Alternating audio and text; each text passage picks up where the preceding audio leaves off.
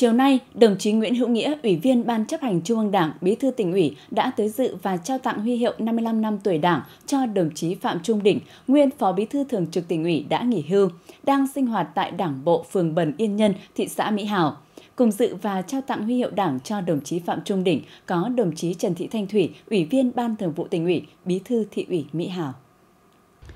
Đồng chí Phạm Trung Đỉnh sinh năm 1942, vào Đảng năm 1966. Trong quá trình tham gia công tác, đồng chí luôn cống hiến hết mình, hoàn thành xuất sắc mọi nhiệm vụ được Đảng phân công và đã được trao tặng nhiều phần thưởng cao quý như huân chương kháng chiến chống Mỹ cứu nước hạng 3, huân chương lao động hạng 3 và nhiều huân huy chương bằng khen của Trung ương của tỉnh.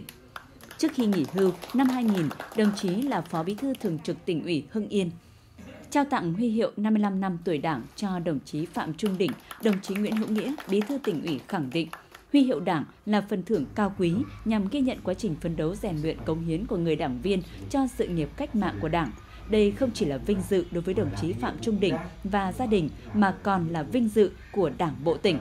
Đồng chí Bí thư tỉnh ủy chúc mừng đồng chí Phạm Trung Đỉnh luôn mạnh khỏe, tiếp tục là tấm gương sáng cho các thế hệ đảng viên trẻ học tập và noi theo